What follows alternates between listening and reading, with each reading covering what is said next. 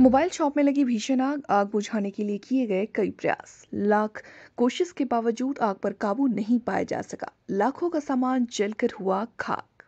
उमरिया ज़िले के नौरोजाबाद से इस वक्त की बड़ी खबर, बाजारपुरा नौरोजाबाद के सामने से आ रही है, जहाँ मोबाइल दुकान में भीषण आग लगी है। अचानक फैली आग ने दो हॉल में रखे मोबाइल और एसेसरीज सामान को अपनी चपेट में ले लिया।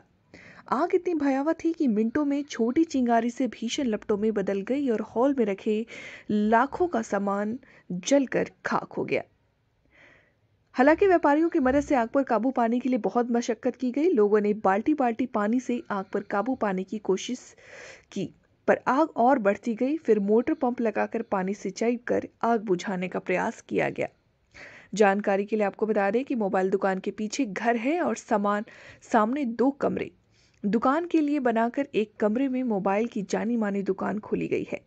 घर में शॉर्ट सर्किट या अन्य किसी वजह से आग फैली और यही आग दुकान को भी अपनी चपेट में लेकर घर दुकान दोनों जगह सामानों को खाक करती भयावह हो गई। जिससे कितना नुकसान हुआ यह साफ़ नहीं कहा जा सकता है, पर नुकसान का आंकड़ा लाखों के पार होने की संभावना है। कांग्रेस कांग्रेस पार्टी के वरिष्ठ नेता सुभाष नारायण सिंह, वार्ड पार्षद एवं वहाँ के ग्रामीणों द्वारा काबू पाया गया। तब तक भारी सामान जल चुका था। दमकल वाहन ने आग पर काबू पाया।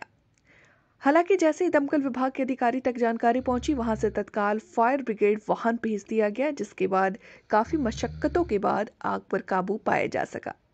हालाँकि तब तक सामने मोबाइल दुकान और पीछे घर का सामान खाक हो चुका था। घटना की जानकारी मिलते ही तहसीलदार नौरोजाबाद ने मौके पर पहुँच स्थिति का जायजा लिया, पीड़ित परिवार के साथ सहानुभूति व्यक्त की। उमरिया से हुकुम सिंह राजपूत सीआईडी न्यूज़ मध्य प्रदेश।